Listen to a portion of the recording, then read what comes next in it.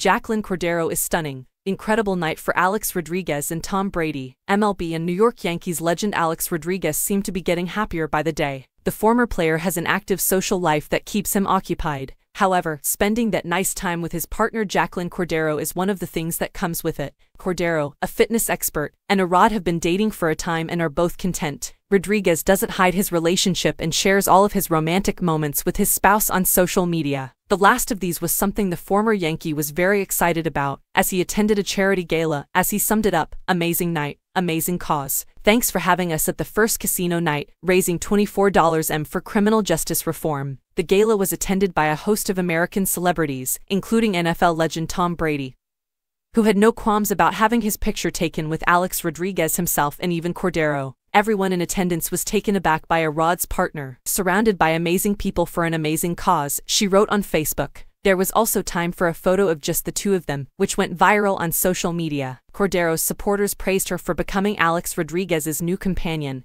However, some compared her to Jennifer Lopez, with whom the former Yankees player split two years ago. Rodriguez is currently overjoyed with a woman who is always by his side and never misses a social function, such as a successful charity gala.